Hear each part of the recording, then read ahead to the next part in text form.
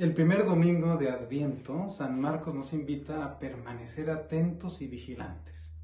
Poco antes, los discípulos habían preguntado sobre el final. Dinos cuándo ocurrirá eso y cuál será la señal de que todo está a punto de cumplirse.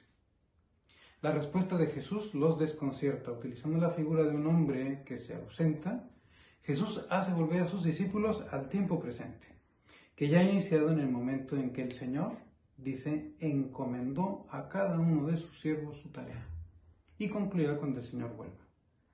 También se expresa lo que es necesario evitar, que el Señor llegue de improviso y los encuentre dormidos. Tenemos así dos dinamismos contrapuestos, permanecer atento y estar distraído. ¿En cuál de estos dos dinamismos te sitúas? La hermandad ha debido prolongar la preparación de su Asamblea General durante este momento confuso de la pandemia y como los discípulos muchos preguntan, ¿cuándo ocurrirá esto? Será es un tiempo precioso al que hemos llamado tiempo de fraternidad.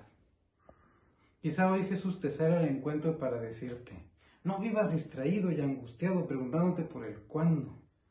Sitúate mejor en el momento presente cumpliendo con fidelidad la tarea que se te ha encomendado. Haz todo lo posible para que el Señor, cuando vuelva, no te encuentre adormilado, sino vigilante y atento. Si el cuidado de los hermanos es lo más importante, conviene que permanezcas atento a ellos. Primeramente a su presencia, después a sus necesidades, también a sus valores. Si cada hermano en la fe trae consigo una gran riqueza, su cultura, sus experiencias vitales, su sabiduría. Deja de estar distraído y pon verdadera atención.